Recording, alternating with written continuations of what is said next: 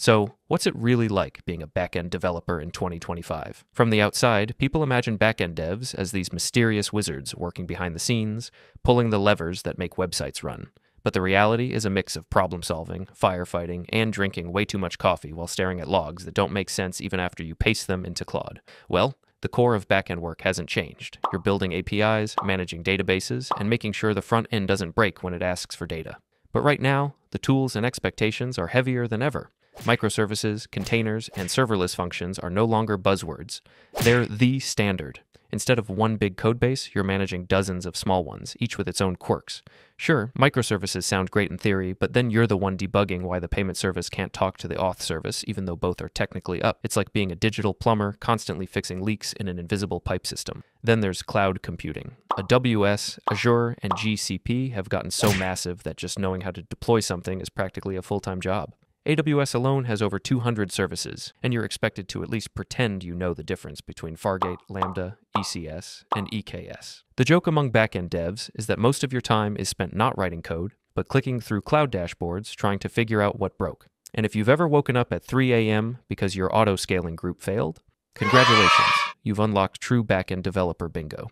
And let's not forget the favorite child of basically every tech company nowadays AI, it has crept into the backend world. And it's not just about writing models anymore. AI is being baked into infrastructure. A lot of backend devs now spend time integrating large language models into their systems, whether it's for customer support chatbots or recommendation engines. Sounds exciting, right? Except that it also means handling unpredictable latency, token limits, and the occasional AI decided to hallucinate and recommend a toaster oven to someone shopping for car insurance. But maybe the most defining part of backend dev life in 2025 is security. Every company is terrified of being the next big headline for a data breach, so suddenly you're also a security engineer. You're expected to think about encryption, authentication, authorization, and API rate limiting constantly. And while front end devs worry about button colors, you're stuck making sure hackers can't inject SQL into your login form. With ransomware, supply chain attacks, and malicious packages sneaking into open source libraries, it sometimes feels like you're defending a castle with a wooden sword. The day to day reality is meetings, JIRA tickets, and incident reports mixed with bursts of deep problem solving.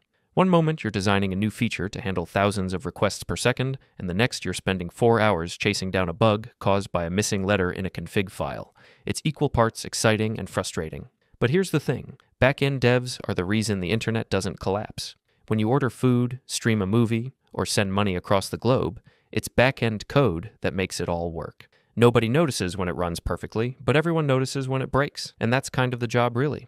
You're invisible until disaster strikes. And if you still want to become a backend dev after hearing me rant for three minutes straight, you should try boot.dev, the sponsor of today's video. For me, it's the best way to learn backend because it not only has lessons in popular languages like Python, Go, TypeScript, and SQL, but also guided projects that mimic real world work. You can learn CI CD with GitHub Actions and Docker, or build file servers and CDNs with Amazon's S3 and CloudFront. Plus, boot.dev has a handy bear wizard.